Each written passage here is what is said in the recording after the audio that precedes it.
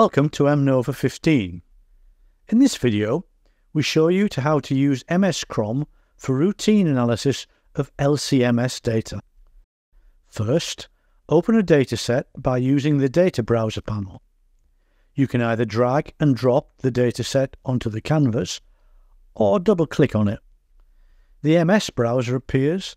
There you can see the different components such as the MS positive, MS, MS, and UV traces.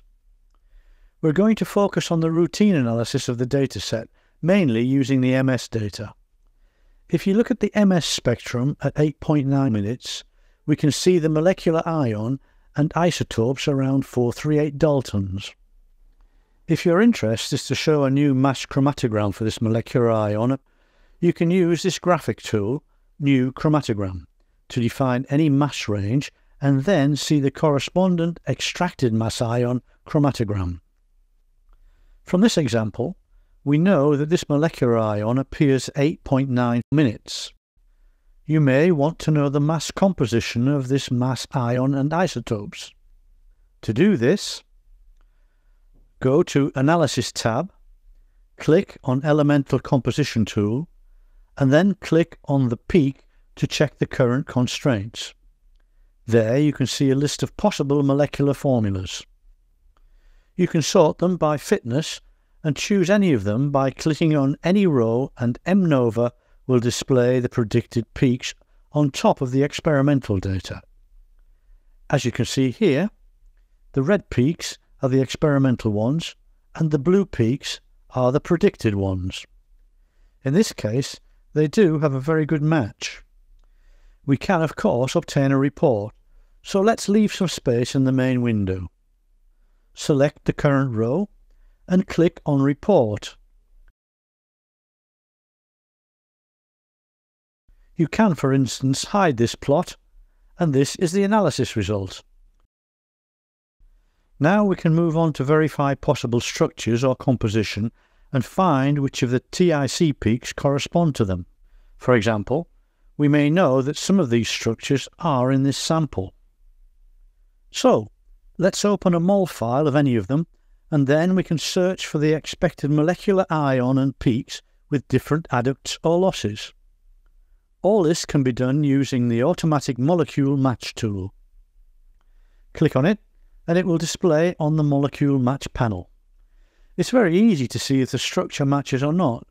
This case clearly does not match, meaning that is not present in the sample.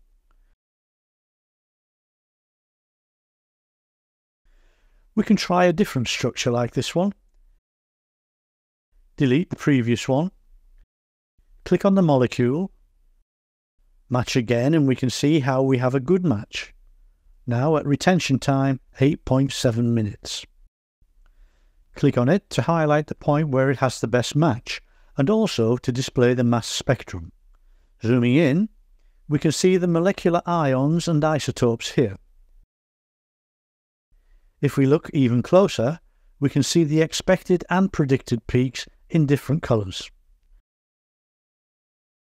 You may have multiple structures. Let's close the previous structure first in compounds and delete. Then from the data browser panel, we can open this SDF file containing 10 possible structures. Using the molecular match tool again, we automatically get the results from these 10 structures. Looking at the match column in the molecular match table, we can quickly see some of them with the red cross, meaning there is no match, some others matching with a green tick. As I showed you earlier, we can select all those in green to view where they match and see what the mass spectrum looks like. We can report the results and fit the structure and details about this structure with the molecular match results.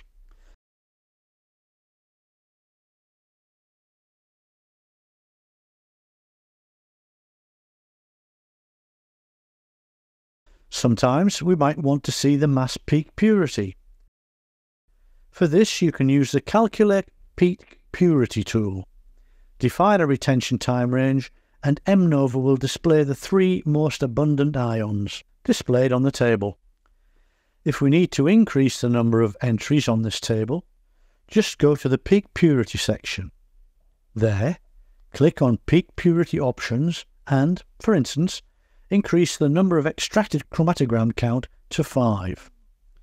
Now we can go again to calculate peak purity and select a peak range on the chromatogram. This will now show the five most abundant ions on the table. With MNOVA MS Chrom, we can also use the prediction tool and enter a molecular formula and see the expected ion and isotopes. Go to the Predictions tab and click on Predict button in the MS Predictions section and the molecular formula dialog window appears.